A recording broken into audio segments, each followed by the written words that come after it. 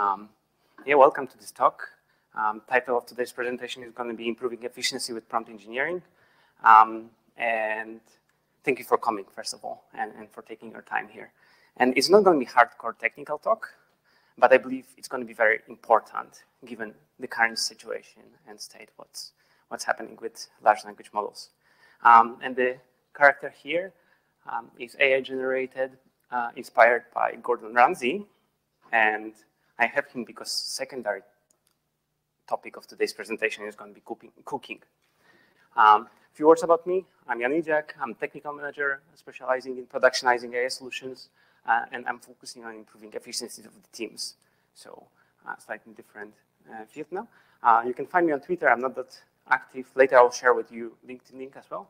Um, this is my hobbies, uh, practical Montessori. I work on handwritten text recognition as well, and technical stack. Uh, agenda, uh, welcome first, then I'm gonna talk about intro introduction to large language models and how people are using them. Then I'm gonna tell you how I was inspired to start using large language models.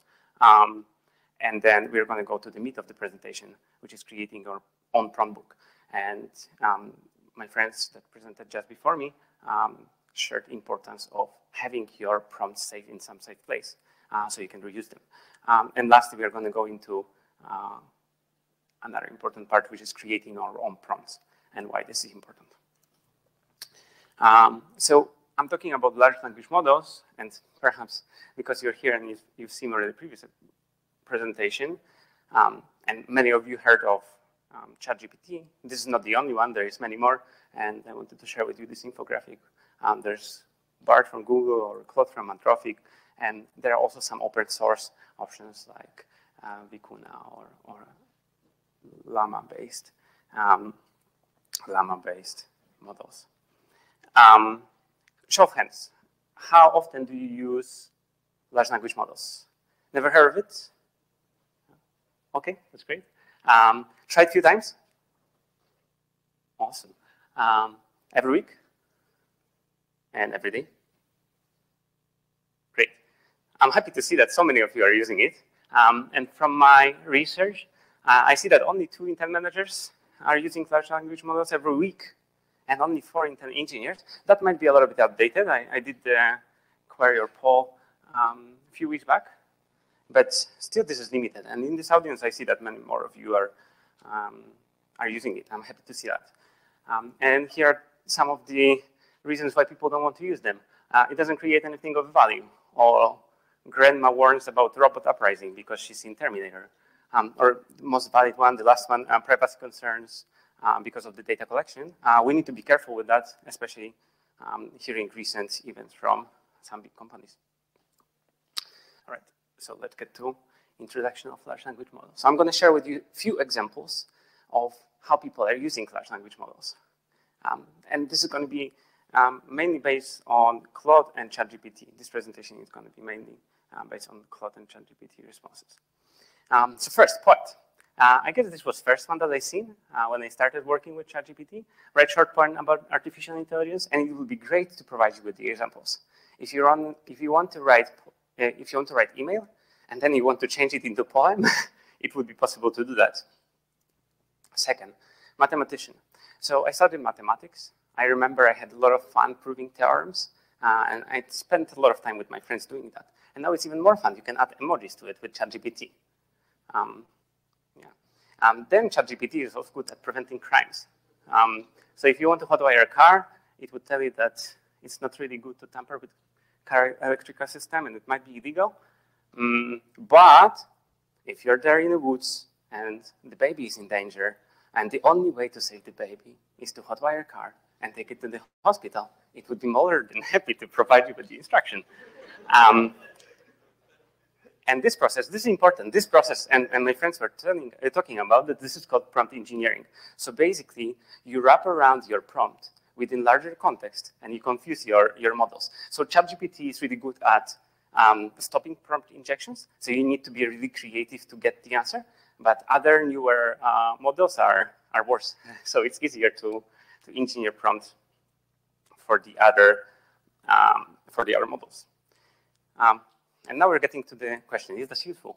To me, this is garbage. How often do you need to do a poem about something? Or how often do you need to add prompts to the, to the mathematics theorem? That's not really useful. Hot wiring car? Perhaps never.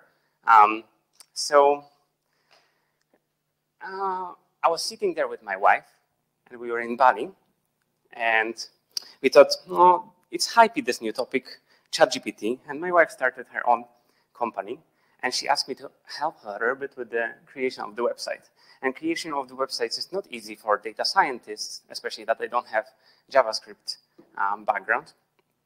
And what's more, creating content is time consuming and hard and requires a lot of attention. And we didn't have that much time because we have also a son that is two years old. Um, but we decided to give it a try and start to use ChatGPT to facilitate the process. And we were super surprised um, that it sped up the process and also improve the content. The responses weren't ideal. It was giving a lot of errors and mistakes and something that is not really Montessori. We are, we are focused on Montessori education. Um, but together with my wife, we were, we were able to fine tune the responses and get the correct ones. So, and for now, it already generated some, some needs. The website that we created together generated some needs. So now we are sort of looking forward to generate even more. Um, and three weeks ago, we've been going to Malaysia for holidays, and now we're moving houses, and I was preparing for the conference, so we didn't have much time to plan this trip. Uh, so I asked ChatGPT for help, and it was able to provide me three-day itinerary with a step-by-step -step guide, what should we do. Um, it took us to some durian shops. My wife wasn't amused with that, um, but to me it was fine. Um, all right, and the next one, and I guess this one is uh, another topic that is related to the previous talk. So if, you think about summarizing a podcast previously, um, it was really huge project. You need to have, you had to have some data to fine tune your um, model. It was costly. You had to have engineers and perhaps some expertise. Um, so that was huge project with a lot of unknowns. And now, if you want to do the same with the use of some uh, APIs, you can test the solution very fast. And what's more, most likely the results that you're going to get from from GPT-3 or 4 are going to be much better than the ones that you're going to get from your uh, custom-made trained BERT. BERT is old, uh, state-of-the-art uh, type of model. I guess it was uh, published in 2018. Um, so here we are. Um, those are a few examples how, how we save time or how we manage to do uh, things faster. And what I'm saying is that you can do a lot of things that were previously time consuming much faster. And you can um, get the results that are not ideal, uh, but you can tweak them and you can speed up a lot of processes. So what I'm saying that is you can save time by using large language models um, as your brain scaffolding you you would never replace it. yet. And all of that you can do to make yourself relevant. Because I believe we are not going to have this Terminator example that I was talking about and Real is afraid of, but we're going to have um, situation where people who are using AI would be competing against people who are not using AI. And I don't have to tell you who is having head start um, in that race. And what is more, lastly, um, this is not 100% accurate, but it's fairly accurate. So introducing of ChatGPT um, to me, it's a very similar event to introducing iPhone or smartphones because it enables a lot of previously impossible things a lot faster. So during iPhone release, we had companies such as um, Instagram or Square um, that were built on top of that. So for now, um, I see the completely new, new, new universe of application is going to be enabled. And already we see the trend, how Microsoft is using Copilot for PowerPoint presentations or um, or, or, Word documents. We see also the same for Notion. Even on the Office is using ChatGPT within their software. So yeah, I guess this is giving you good motivation um, to start your own prompt book because um, that might be relevant. But you might still question why do you need prompt book? And I give you gave you a hint just before. Um, but basically, I'm suggesting that so then you can reuse some of the prompts that you're using often. And you don't have to recreate the wheel, reinvent the wheel multiple times. Um, how to use this presentation? From now on, this is important. I'm going to share with you some prompts and some answers. They're going to be truncated, so I'm not going to share with you everything um, uh, because I want you to focus on how things are being made. uh, and not each word step by step. Um, and I'll share the presentation after the talk, so you can copy paste some of the prompts that I'm sharing with you. Some of the prompts uh, were ones that I found on the internet, and I found them useful, and I keep them for myself, and some of them were invented, invented by me. All right. Um, so the power of prompt engineering. Um, this is also another answer to the question, why do you need prompt engineering? Um, and I'm asking questions to the ChatGPT. ChatGPT answers, and everything is fine. I'll ask complete the sentence. Oh, this is Claude, by the way, uh, from Anthropic. Um, I'll ask complete the sentence, life is like. And the answer is life is like a box of chocolate. You never know what you're going to get. This is good answer. It's answer from uh, Forrest Gump. I remember this movie when I was small and I was watching it multiple times. But it's boring. Everyone knows that. It's nothing inventive and I can create it myself. You don't have to think much to, to create this answer. So how about if we ask um, model to behave like a Michelin star chef? So behave like a Gordon Ramsay and complete that sentence. And then it would say, life is like a bad risotto. Too many people don't steer enough, don't pay enough attention to the details, and end up with the mashy flavorless. uh, yeah, and I, I, like this. I like this answer much more, um, especially if you're uh, if you like cooking yourself. And I'm sharing why cooking is um, secondary, uh, secondary topic of this presentation is because cooking is much like prompting. You have your cookbook where you serve your recipes for later, and you can reuse them. And uh, you can either use some recipes that someone else created, or you can create your own. And I'm going to talk about both, both of the things. So first, I'm going to show you um, a few pre-made prompts.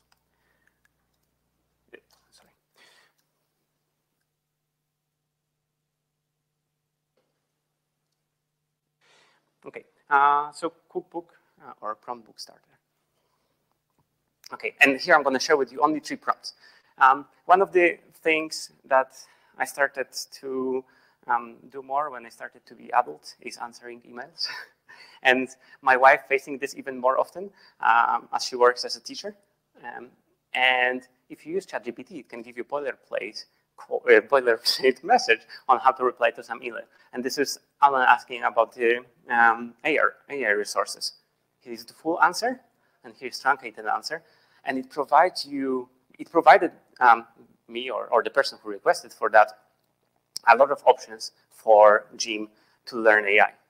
Um, it's very basic. Um, you would have to still edit it, but the answer is very reasonable. You don't need to think, but you can think about um, deeper insights. And here is the template. So the template you can copy paste. Second thing, learning. Many of us want to learn new things. Um, and previously YouTube was a big thing. Um, and now I guess ChatGPT can accelerate that process as well. Um, so here is the example. I want to learn about artificial intelligence, same topic. 20% um, of the topic that is that yields 80% um, of the results. Here's the full answer. Full answer was really long. It was um, eight sections covering number of things.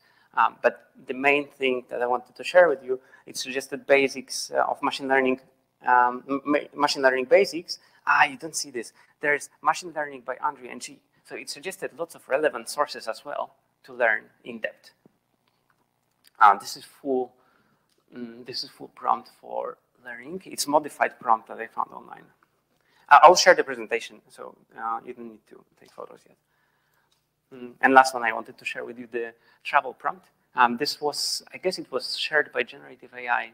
Um, and make day-by-day -day itinerary about round trip to Singapore. You can also ask about hourly itinerary.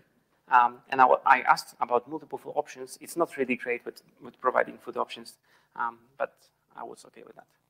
Full answer and truncated answer. Um, that's really cool. If you're visiting Singapore, I also, um, I also recommend you to go to Kranji. Um, you can see a lot of bird species um, and alligators there. And it's worth it. Um, this is travel, uh, full prompt. And now last part. I think, why do I need to um, create prompting? What is prompting? And, and why do I need to do anything like prompt engineering? And prompting is like simply asking questions. And prompt engineering is art of asking right questions to the right people to get right answer. And right answer is wherever you need.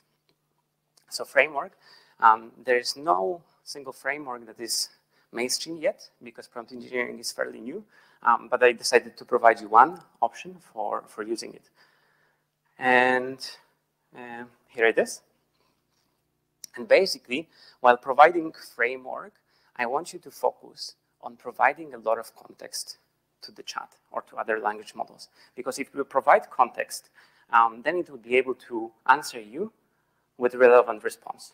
If you don't provide enough context or the context is wrong, then it's more likely to, to give you wrong results. Um, so the context that I suggest is task. So whatever you need to do. Um, second is role. So who needs to answer or to whom the answer is. Um, the third one is constraints. So what chat should do or what shouldn't do. And the last one is chain of thoughts that my friends covered or examples. Uh, so you provide even more context by showing how uh, the chat should think. Um, all right, and let's get to the example. Um, I'm hungry, it's late, and what should I do? and then when I was starting using uh, ChatGPT, I would write, what should I eat for dinner? And it was fine. It created a few ideas, and I liked the ideas. They're, they're already good. Grilled salmon, I would eat that. Chicken, I wouldn't because I'm vegetarian. Uh, vegetarian chickpea, uh, not vegetarian, pescatarian. Um, chickpea, uh, vegetarian chickpea curry, mm, reasonable. I don't like chickpea that much. That's still fine. Um, and now we're getting to the last example. So how, if we provide more context, um, I'm hungry, it's late, what should I do? And my girlfriend is there, and both of us, we have dietary restrictions, and I want to make it moment that matters. So instead of asking what should I eat, I would ask to design a three-course menu um, that I can make at home. And also I will ask Gordon Ramsay or other Michelin start to design that menu for me. Um, and now about constraints, I have lactose intolerance and my girlfriend doesn't eat gluten. All right, so let's add that. And last thing, um, think about this step by step. And this is really important. This you should save. Don't answer if, you know, if you're not sure. Um, this reduces uh, hallucination, so-called, by much. So this is influencing the thought process. And here is the answer that I got. And I was amazed. As a Michelin star chef, I would be delighted to create customized menu for you and your girlfriend. And it provided us with three-course menu with ingredients and step-by-step -step guide on how to create them. So um, I guess this is fairly convincing example on, on why engineering prompt better, uh, engineering prompts is better than just prompting randomly. Um, and then um, premium all-in-one example. So this is Inception. It's not really pre-cooked example or it's not really um, engineered example, but you can ask ChatGPT to help you engineer your future examples. And I've been using that a lot. And I asked ChatGPT on um, how to amaze uh, people joining presentation on prompt engineering. Uh, and uh, it's, it helped me in, in, creation, in creating this presentation as well. All right, so let's get to conclusion. So I'm suggesting you to start your prompt book um, and use the methods that I covered here um, to automate some tasks that you're working on and in the effect to stay relevant. Um, thank you. It was a pleasure to talk to you. And now scan. This is the uh, QR code to my LinkedIn post. And in comment, you have the, the presentation link. And for now, the presentation is still closed because I didn't want anyone to see it before the presentation. Um, and I will, I will open in, in three minutes. Okay, wonderful. Uh, so we have someone who's played extensively with prompts and uh, your opportunity to ask him lots of questions on this. So, oh, we still have time for questions. Awesome. uh, yeah, so as noted in the last presentation, there's been changes with even within the model, um, the releases of GPT three and four. Um, so when we're going to scale, how yeah how, how what does that look like? Are you are um, how are you are you are you since they don't explicitly reveal, to us like version numbers or versioning of, of GPT four, how are you versioning these or like controlling these, so on and so forth, logging these? So if it comes to using this, I'm trying to be very practical, and I'm trying to automate especially tasks that are time consuming, and uh, and I need to have starter code or started start template that I can later edit and adjust to my current needs.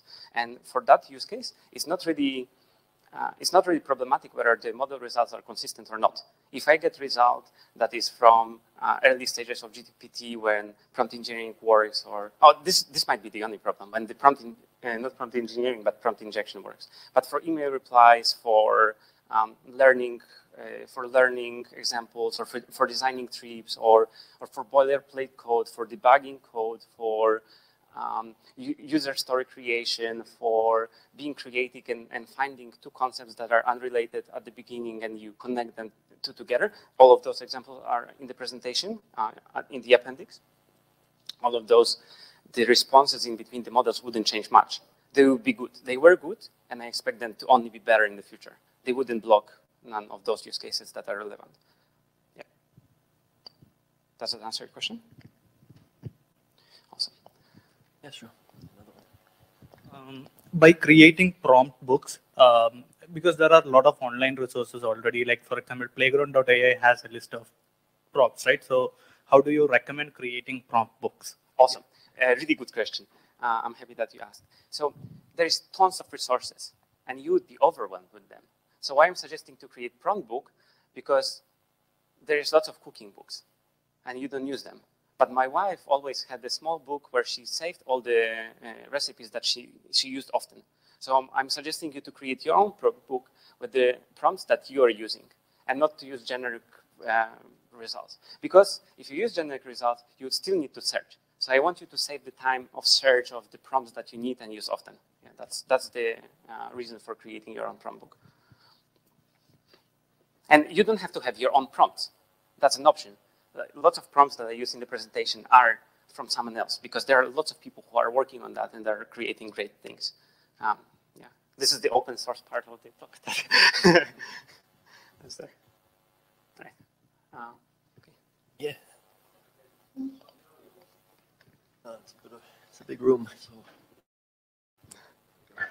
Um, so thanks for sharing. Uh, I have two questions. So first is that um, as we know, is uh, the whole um, AI. I think the whole large language model is evolving very fast. So we're having uh, GPT-4 coming up, and I mean it's already there. Five is coming up, and we have other companies uh, publishing their own models. So I, I, I, I believe you have definitely played with a lot of these models. So do you find the prompts like um, consistent? Like if you feed the same prompts to different models, do they still uh, perform the same. And because I, I like your anal uh, analogy of um, like the cookbook, but I mean, let's say the rice that we're using have not have not changed for the past thousand years, but models are evolving very fast. So do you find, let's say, if you have a prompt book that's built using, um, let's say, GPT uh, 3.5 and after four comes up, or if you're using other models, do you see any inconsistency in the results, in the quality of that? Mm. And uh, my second question is that how do you like if let's say you're using the prompts for some um, some some tasks where facts are very important, then how how do you do fact checking? Yeah. Okay. Oh, awesome. Two, uh, two great questions. So first, consistency, and then fact checking. Um, consistency in, in, between the models. Um, so it's there is one great thing. Um, OpenAI have big budget and lots of people who are working on it, and, and they had head start. Um, so lots of prompt injections are stopped, but other models don't do that. So you can do, you, you don't even have to do prompt injections for some models, for some newer models. Um, you can just ask how to hotwire a car and it would answer. Um, and again, similar answer to the previous one, for most of the use cases that I'm, I'm using, it's simple tasks that are time consuming. And even if the answer is slightly inconsistent between two models, it would provide you boilerplate so you can reuse that and adjust it. Um, and then uh, fact checking is a second question. So fact checking and adjustments of the result, I guess they're mm, related topics. So uh, when we were creating the website for my wife, this Montessori website, lots of responses from the chat were inaccurate and were Montessori, and were, we are really into Montessori. So, and when I said that AI wouldn't replace us, yet, and it, it's not going to be fight between people and AI, but people who are using AI versus people who are not. Um, so you still need to have an expert to validate some results. The prompt that I share with you, don't answer if you don't know, it works to some extent. But sometimes chat would make up things anyways. and less powerful chats would make up more things than the other ones. So just be practical, use it to your needs, and don't go for the, I don't know, for people who are shouting, oh no, this is this created something that is incorrect. That's fine, it created, just take that into account and use it to the fullest. And don't lose your time on complaining that something is not ideal. And if you don't have expertise, find someone who has expertise and can validate this. And, and what you can do, you can ask ChatGPT, hey, how, how should we learn about AI? And then it would give you boilerplate, and you ask someone, some of your friends who is AI, mm, hey, I was thinking about learning AI. I have these ideas. What do you think? What should I add? What should I take out? And then it's much better than asking, oh, what should I learn about AI? Like you're more specific with your questions to people who are experts, and then you're not wasting their time, and you're not asking them to. I mean, not really. I'm, it's not about wasting time, but it's like you're being more proactive than uh, with with answering more directed questions. Cool. So this is about uh, fine tuning and experts.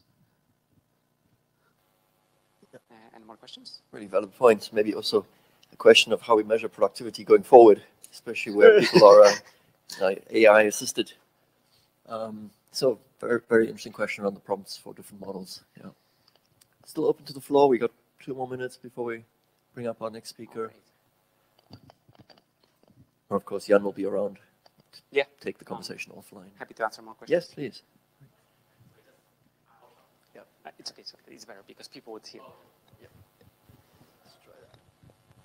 Okay, uh, this is coming more from the text to image uh, side of things, uh, because um, uh, but it applies to uh, ChatGPT basically. But uh, so what's happening with text to image is that image there's a lot of copyright issues coming up because when text to image things like you know Midjourney generate an image, is it copyrightable? What are the problems with training? Are, are we seeing the same issues popping up with ChatGPT type, you know, text to text kind of uh, uh, models?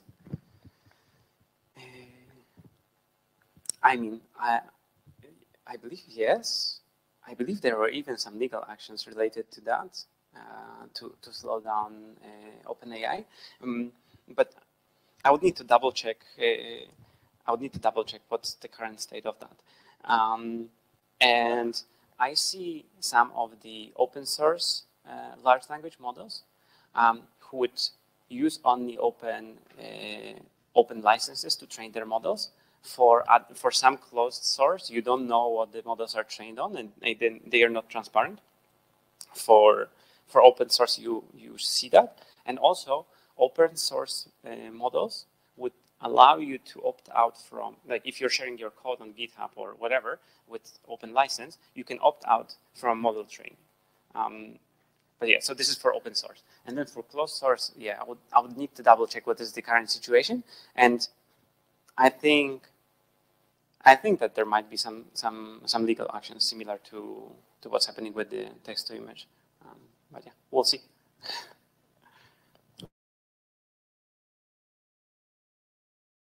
Round of applause.